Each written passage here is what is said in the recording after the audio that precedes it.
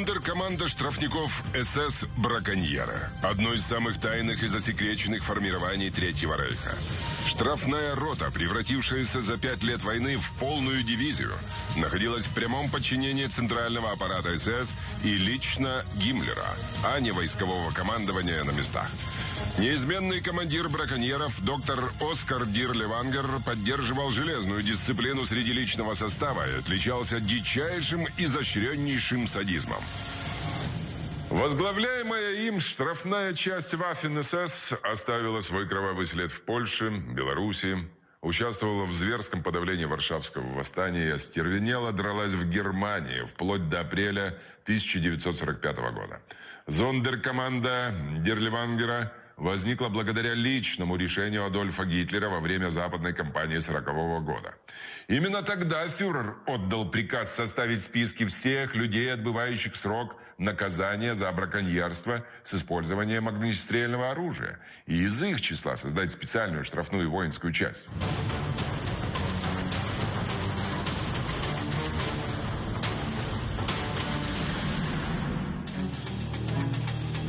Август 1955 года. Белоруссия.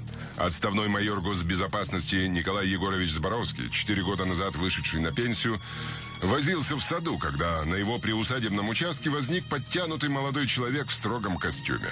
Даже беглого взгляда отставнику хватило, чтобы понять, какое ведомство представляет визитер. Николай Егорович, добрый день. Разрешите представиться. Максим Севастьянов, капитан третьего управления КГБ СССР.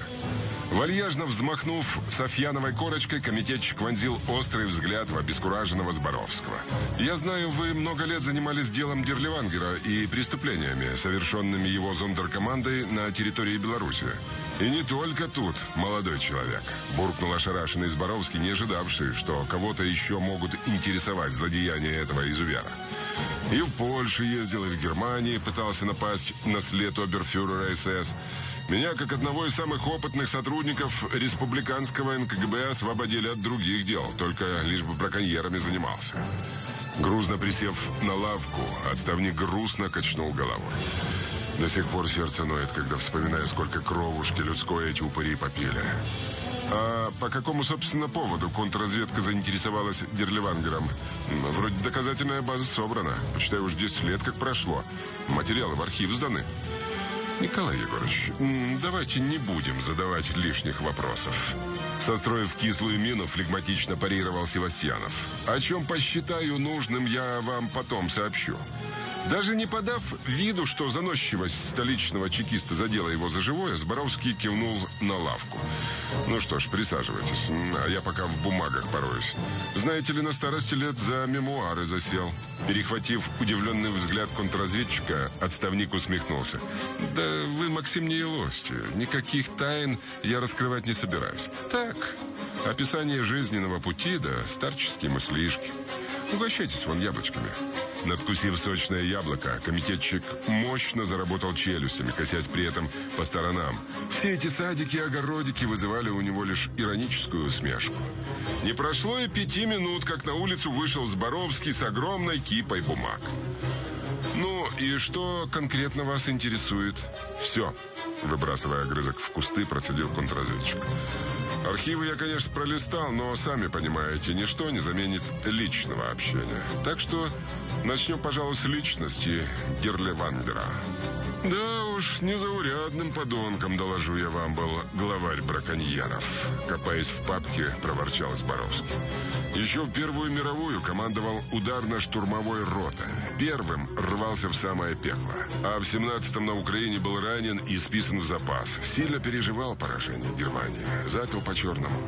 По пьянке, кстати, получил тюремный срок в 34-м. Тут целый букет обвинений. И дебош, и авария с летальным исходом, и изнасилование 14-летней девочки. Восстанавливая в памяти сведения о Дерливангере, Зборовский озлобленно скривился, сглотнув слюну. Отбывая срок заключения в тюрьме Людвигсбург, эта гнида принялась строчить во все инстанции прошения о пересмотре судебного вердикта. И нашелся-таки у Дерливангера высокий покровитель. С подачи некоего обергруппенфюрера Бергера Обвинение за изнасилование малолетней было признано недействительным. В конце 39-го Герливангера восстановили в правах и вскоре назначили на вакантную должность руководителя зондеркоманды СС браконьера. Вооруженное формирование изначально составлено из правонарушителей под командованием также правонарушителя с серьезным пристрастием к алкоголю, неуравновешенной психикой и явной склонностью к насилию, вскоре записалось в мировую историю своими жесточайшими преступлениями, практически не имевшими аналогов. Штурмбанфюрер СС Дерлевангер лично объезжал лагеря и тюрьмы для отбора рекрутов. Под программу амнистии могли попасть только профессионалы-рецидивисты, неоднократно занимавшиеся браконьерством с использованием огнестрельного оружия. Предпочтение при выборе отдавалось осужденным из Австрии и Баварии. Сентябрь 1940 года. Германия. Втянув ноздрями аромат сигары, Дерливангер метнул презрительный взгляд настоящего около стены еврея. И тут же ядовитая ухмылка исказила лицо командира штрафной роты. «Перед тобой враг, и ты должен его убить!» Кивнул Дерливангер очередному кандидату в зондеркоманду, доставая из кобуры Вальтер. «Только так можно заслужить прощение и доказать верность Великому Рейху». Было заметно, что решение заключенному дается непросто, но он все же взял пистолет. Подкурив сигару, Дерлевангер выпустил густой дым. «Стреляй!» – грозно рявкнул штурмбанфюрер. И тут же пуля, выпущенная нетвердой рукой, распорола несчастному предплечье. «Добей! Только в голову!» Зашелся истерическим криком Дерлевангер. Но парень не мог даже пошевелиться и лишь панически зыркал по сторонам. «Трусливая мразь! До конца своих дней будешь гнить в карцере!» Гневно заорал командир штрафной роты, чем вывел заключенного из ступора. Издав утробный звериный рык, он вскинул Вальтер и, почти не целясь дважды, выстрелил в голову жертве. «Так-то лучше. Я знал, что из тебя будет толк». Рассматривая две аккуратные дырки в черепной коробке застреленного, довольно оскалился Дерливан. «Фамилия?» «Август Шахт», — бодро отчеканил оправившийся от шока и потрясения новобранец. «Бегом на склад. Получи амуницию и паек. Ты зачислен в мою команду». На своей шкуре, прочувствовав, что такое немецкая тюрьма, штурмбанфюрер СС знал, что недостатка в рекрутах не будет. Нужно только психологически обработать заключенных, замазать их кровью. И тогда они будут верны и преданы, как цепные псы. Дисциплину же в веренном ему подразделении Дерливангер поддерживал жесточайшими побоями и истязаниями. Вскоре вышкаленных, надрессированных на человеческую кровь псов Дерливангера перебросили в Польшу охранять рабочих еврейского лагеря, возводивших так называемую линию Отто на границе с Советским Союзом. До хруста сжав кулаки, чтобы скрыть дрожание рук, Зборовский процедил. В Польше браконьеры вовсю проявили свою звериную сущность. Массовые казни, изнасилования, поборы – и все этим подонкам сходило с рук. Ну как же, сам Гиммлер благосклонно относился к Дерливангеру. Никто и пикнуть против него не мог. А в январе 42-го этих выродков нечистая принесла в Беларусь. Под Смоленском они базировались. Отглотнув из чашки уже остывший чай, Зборовский продолжил свой невеселый рассказ. Действовал Дерливангер всегда по своему усмотрению, подчиняясь напрямую главному оперативному штабу рейхсфюрера СС в Берлине. Но в основном проводил карательные акции против партизан. Изымал скот, отбирал молодежь для работы в Германии. И всюду лютовал по-черному. Ежели что не по его выходило, сгонял людей в сарай и поджигал. А тех, кто смог выбраться из огня, из автоматов крошили. Звери.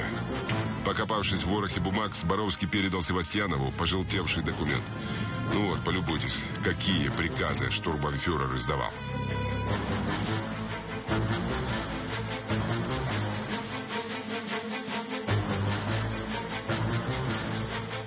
Приказа. Свободное перемещение местного населения по дорогам запрещено. Покидать деревню можно лишь по письменному разрешению гарнизонного командования не более чем на один день.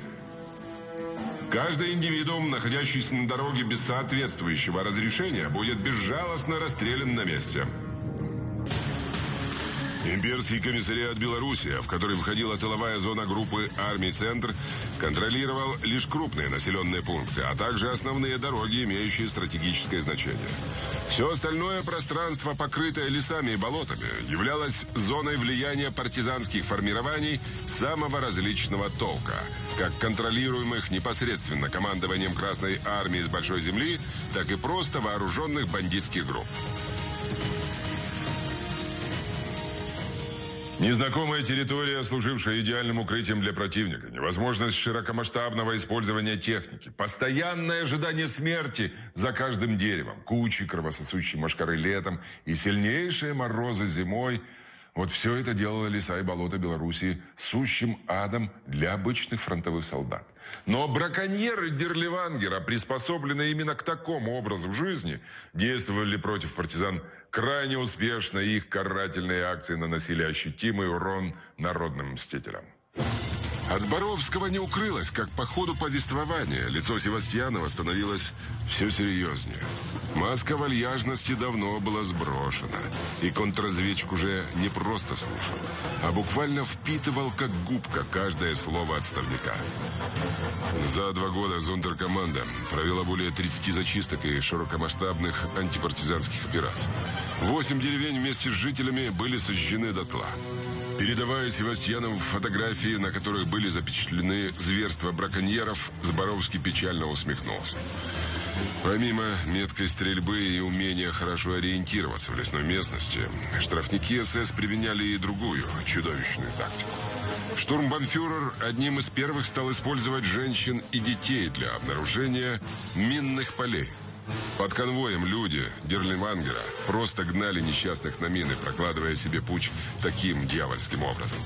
Помассировав левую грудь, Зборовский достал из кармана валидол. Мотор что-то пошаливать стал. Годы, знаете ли. Был у Дерливангера и личный отряд егерей-снайперов. Элита, ядрих в корень. Рассасывая пилюлю, проворчал отставник. Группа состояла из 15 человек, хотя вряд ли этих выродков можно назвать людьми. Тренированные, выносливые, вооруженные цейсовской оптикой и маузеровскими винтовками, егеря уходили в лесные рейды на несколько дней, рыскали по чащам в поисках партизанских стоянок, устраивали засады на тропах.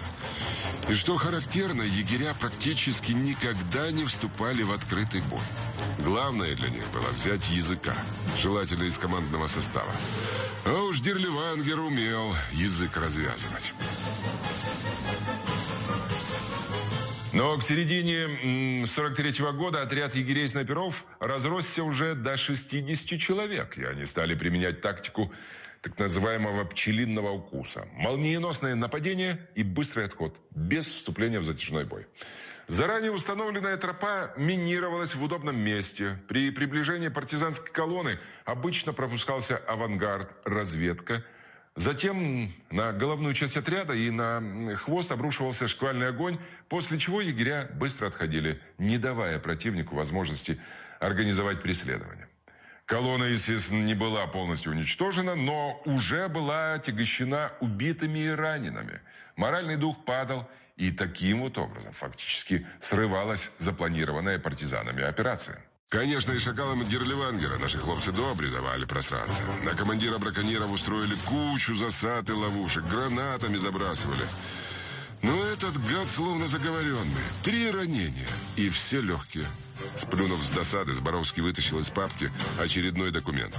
С конца 42-го, помимо немецких заключенных, штурманфюрер стал набирать и рекрутов иностранцев.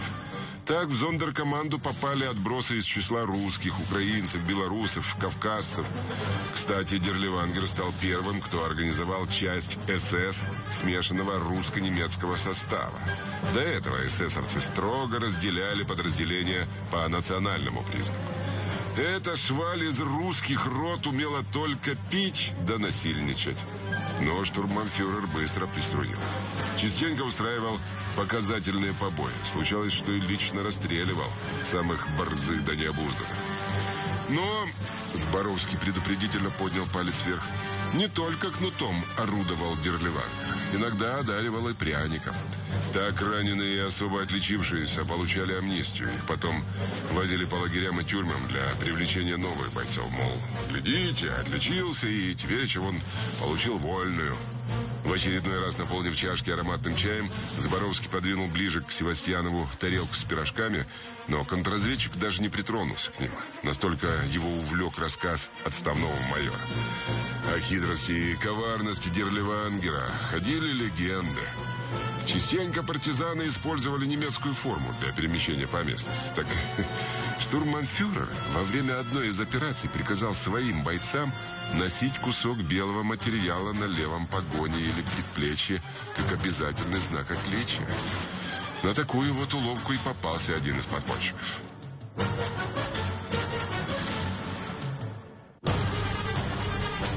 Июнь 1942 года. Белоруссия. Пыхтя сигара Дерливангер с мстительным упоением окинул сгорбленную фигуру избитого партизана, настоящего на ногах. Переводчиком у командира зондеркоманды выступал один из взводных по фамилии Мельниченко. Его штурмбанфюрер завербовал в концлагере Заксенхаузен, где тот служил надзирателем. Эсэсовец наметанным взглядом определил, что этот русский яро ненавидит комиссаров и коммунистов. И не ошибся. В изощренности пыток Мельниченко не уступал Дерлевангеру. Переведи. Если этот субъект расскажет, где дислоцируется его отряд, сохранит жизнь и будет вознагражден по достоинству. В противном же случае мы начнем расстреливать каждого третьего жителя этой деревни. Расплывшись в хищной усмешке, Мельниченко быстро перевел слова командира, но партизан лишь плотнее сжал губы и упрямо качнул головой. «Гуд, всегда приятно иметь дело со стойким противником.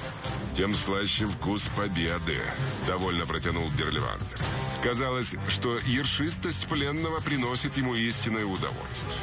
Выпустив облако дыма, штурмбанфюрер вытянул изо рта сигару и уже в следующую секунду вонзил ее в глаз пленному. Взвыв от боли, бедолага упал на землю. «Инструмент, быстро!» — рявкнул командир злорадно лыбящемуся Мельниченко. И туже сверкающие на солнце кусачки легли в руку штурбанфюреру. «Скажи этому варвару, что сперва я выдерну ему все зубы, потом ногти на руках и ногах, а в самом конце примусь за важнейшие для мужчины органы». Осознав, какие пытки его ожидают, Партизан взвыл от бессилия и боли. Продолжая зажимать рукой обожженный глаз, он затравленно кивнул головой. «Я все скажу, только не мучайте». Допрос длился около часа. Выжав пленного до донышка и выяснив место партизанской стоянки, Дерливангер кивнул Мельниченко. «Он твой. Постарайся, чтобы смерть этого бандита была мучительной. Не извольте беспокоиться». С демоническим хохотом взводный выхватил из-за пояса нож. «Ща мы этому краснопузому звезды на спине-то вырежем». Нужно отметить, методы Дерливангера шокировали даже не отличавшихся особой гуманностью офицеров вермахта и руководителей оккупационных властей.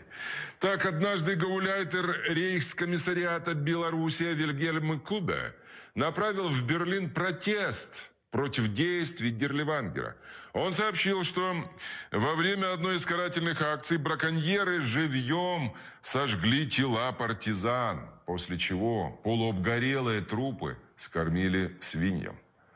Однако на письмо Кубе рейхсфюрер СС Гиммлер ответил очень жестко, заявив о бессмысленности обвинений против штурмбанфюрера и потребовав не вмешиваться в дела зондеркоманды. Сентябрь 1943 года. Белоруссия. Получив столь весомую поддержку из Берлина, штурмбанфюрер совсем слетел с катушек. Впал в беспробудное пьянство и разгон. «Ты выполнил мой приказ!» Едва держась на ногах, пьяно прогорланил Дерливангер, фокусируя мутный взгляд на застывшем в лакейском полупоклоне Мельниченко. «Так точно! Правда, молодежи в селах осталось мало. Но парочку девах таки удалось изловить». «Тащи сюда обеих!» — похотливо заржал штурмбанфюрер, затягиваясь сигарой. Уже через минуту к нему подвели двух молоденьких, насмерть перепуганных девчушек. «К вам! подозвал Дерливангер одну из них и тут же впился девушке в шею слюнявым поцелуем. Эту дикарку я оставляю себе, а вторую привести в порядок, накормить и отправить в Берлин моему другу Бергеру. Он к славянкам очень неравнодушен. В сопроводительном письме сообщит, что бутылки шнапса в благодарность будет достаточно. Выполняй! Покачнувшись, Дерливангер грубо обхватил заплаканную девушку за талию и увлек в хату. Уже через какое-то мгновение оттуда раздались душераздирающие крики и треск рвущейся материи. «Что ты скулишь, курва?» Влепив второй девчушке звонкую пощечину, гневно просипел взводный. «Благодарить Бога должна, что в Германию едешь. Эклеры с марципанами жрать будешь. Да господ офицеров облажать, сучка неблагодарная».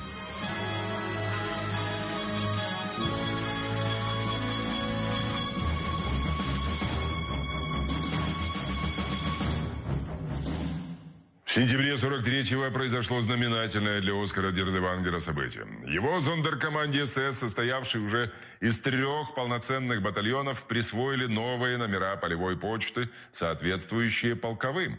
А подразделения переименовали в честь командира, что само по себе было из ряда вон выходящим случаем. Вплоть до начала 1944 года полк Дирливангер принимал участие в сражениях под Витебском и Дретунью, после чего был переброшен в Польшу на подавление Варшавского восстания. Ни одна из частей СС или Вермахта не могла сравниться с браконьерами в дерзости и успешности проводимых операций. Польское население массово использовалось в качестве живых щитов и во время разминирования минных заграждений.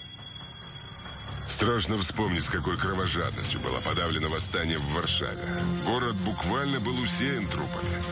Демонстрируя холодящую кровь снимки, Зборовский поведал, как он по крупицам собирал доказательства преступлений Дерливангера в освобожденной Варшаве.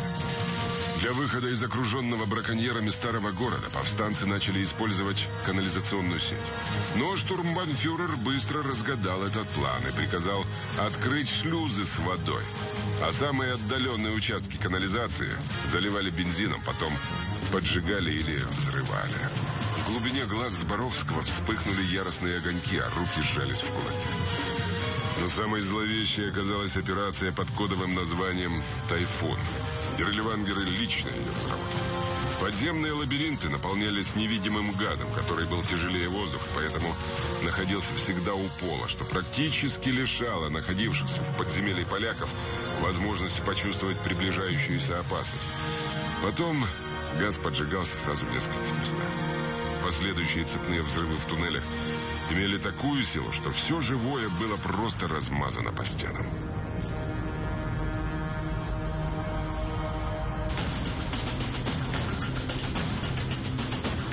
Приказа оберфюрера СС Оскара Дерлевангера, имеющего 11 боевых ранений, за личное мужество, пример для подчиненных и достигнутые успехи во время подавления варшавского мятежа, наградить рыцарским железным крестом.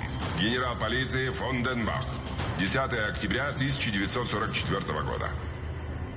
Потерявший в варшавских руинах большую часть личного состава, новоиспеченный оберфюрер Дерлевангер – снова отправляется в Германию для пополнения своего штрафного полка СС. Но к концу войны браконьеры и другие, подходящие для службы узники тюрем, уже практически перевелись. В рядах СС также не нашлось нужного количества осужденных военнослужащих. Вот тогда Дерливангер пошел на рискованный шаг и начал привлекать политических заключенных. Всего было отобрано около двух тысяч узников концлагерей, но психологическую обработку Берфюрера выдержали лишь небольшая их часть. Дослужившийся до унтер-офицера Август Шахт подтащил к Дерлевангеру одетого в какие-то лохмотья худого, изнеможденного парня. «Так ты отказываешься служить Великому Рейху и искупить свою вину перед Германией?» Яростно зашипел оберфюрер, при этом его глаза стали наливаться кровью. Но грозный тон офицера не произвел на парня должного впечатления. «Будьте вы прокляты со своей войной!» Договорить узник концлагеря не успел. Выхватив из кобуры Вальтер, Дерлевангер выстрелил жертве в затылок. «Шахт! Повесить этого ублюдка на плацу!» Остальных кандидатов в рекруты выстроить в шеренгу перед виселицей. Если кто-либо опустит глаза, 30 ударов плечью в наказание. Теряя остатки самообладания, истерично завопил оберфюрер. На протяжении двух суток никого не кормить и не давать пить. Рядом с виселицей установить полевую кухню. Желающие искупить вину должны принимать пищу исключительно перед шеренгой. На исходе вторых суток новобранцы пусть лично расстреляют непокорных. Все понял? Выполнять! Но в этот раз Дерливангер потерпел неудачу. Во время первого же боя многие политзаключенные попросту дезертировали. Поежившись от вечерней прохлады, Зборовский со вздохом продолжил. Тогда, в апреле 45-го, полк Дерливангер уже воевал на подступах к Дрездену. И потери нес сильнейшие. Некоторые офицеры, составляющие костяк подразделения, покончили жизнь самоубийством. Другие сумели просочиться в оккупационные зоны союзников. Дерливангер, к слову сказать, сбежал к французам. Мы потребовали у них выдачи государственного преступника. Вытащив из папки какой-то документ, Зборовский передал его Севастьяну. Вот, полюбуйтесь, это приказ маршала Жукова о крупном вознаграждении за живого или мертвого Дерливангера. Не всякий, доложу я вам, даже командир дивизии СС был удостоен такого внимания. Так вот, французы прислали ответ, в котором говорилось, что оберфюрер Дирливангер в пересыльном лагере был насмерть забит палками и похоронен 8 июня 1945 года в закрытом гробу. Мол, труп изуродовали до неузнаваемости. Только я считаю, лапши они нам на уши навяжут. Рубанув рукой по воздуху, Зборовский вперил тяжелый взгляд в контрразведчика. «Максимов, давайте на чистоту. Какого лешего вы ворошите прошлое? Неужто всплыл где-то этот садист?» «Ну, пока еще рано говорить о чем-то конкретном», опустив глаза, буркнул Севастьянов. «Но есть данные агентуры, что некий бывший офицер СС вербует в иностранный легион добровольцев. И внешне он очень похож на Дерлевангера. Но, вы понимаете, этот разговор должен остаться между нами. «Да уж дела», — мрачно констатировал отставной майор. «Если это окажется правдой, много еще кровушки прольет этот упыряка». До конца так и неизвестно, был ли тем вербовщиком в иностранный легион оберфюрер Оскар Дерливангер, но есть сведения, что в Индокитае против местных партизан активно действовала французская часть, возглавляемая бывшим офицером СС. И методы, применяемые во вьетнамских джунглях, были очень схожи с теми, которые Дерливангер опробировал в Беларуси. Живые щиты из местного населения – дотла сожженной деревни и железная дисциплина среди личного состава, граничащая со звероподобным садизмом.